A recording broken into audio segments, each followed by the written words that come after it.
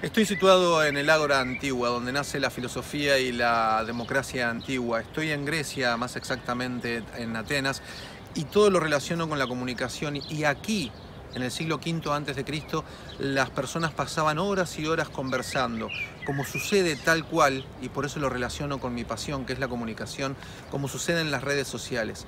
Tanto en las universidades como en las empresas públicas o privadas, pequeñas, medianas o grandes, siempre me preguntan cómo hacer con las redes sociales, cómo hacer con el tema de la conversación, la interacción, lo mismo que sucedía acá.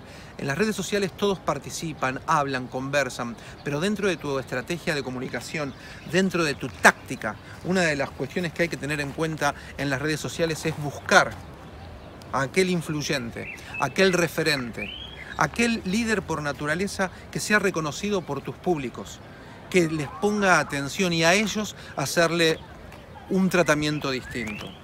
Las redes sociales como en el ágora antiguo, la conversación constante, es una atención que hay que poner dentro de tu táctica, por el diálogo, por la interacción y por saber a dónde enfocar más para que tu comunicación, difusión, divulgación sea un poquito más exitosa.